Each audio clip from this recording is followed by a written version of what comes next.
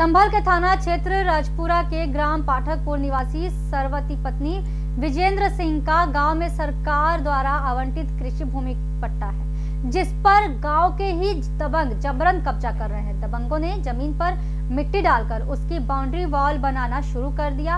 पीड़ित ने थाना राजपुरा पहुंचकर लिखित में शिकायत दी, परंतु पुलिस ने मामला राजस्व विभाग का कहकर टाल दिया। पीड़िता ने उप जिलाधिकारी गुन्नौर को शिकायती पत्र देकर जबरन पट्टे पर दबंगई के बल पर कब्जे का आरोप लगाया है। उप जिलाधिकारी ने तत्काल संबंधित अधिकारियों को पट्टा खाली कराने का आदेश दिया है। परंतु चार दिन के बाद पट्टा खाली कराना दूर अधिकारियों की सरपरस्ती में विधवा के पट्टे पर जबरन दबंगई के बल पर कब्जा किया जा रहा है। संभल से हमारे संवाददाता नियम चंद्र की रिपोर्ट।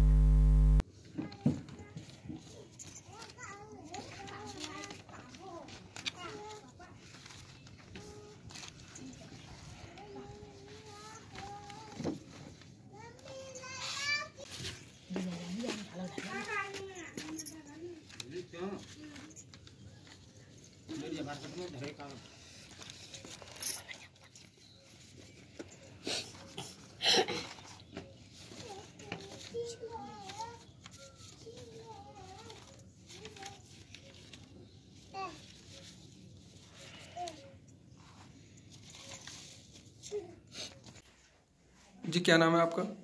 कुमार पाल कहाँ के रहने वाले हैं? पाठक पर।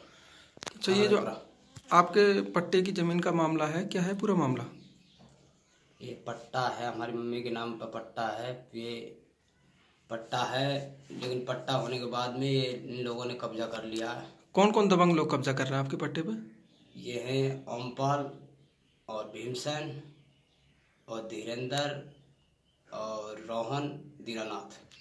तो आपने किसी से शिकायत की उच्च अधिकारियों से? अधिकारियों से भी काफ़ी बार शिकायत कर चुके लेकिन हमारी कोई सुनवाई नहीं करता।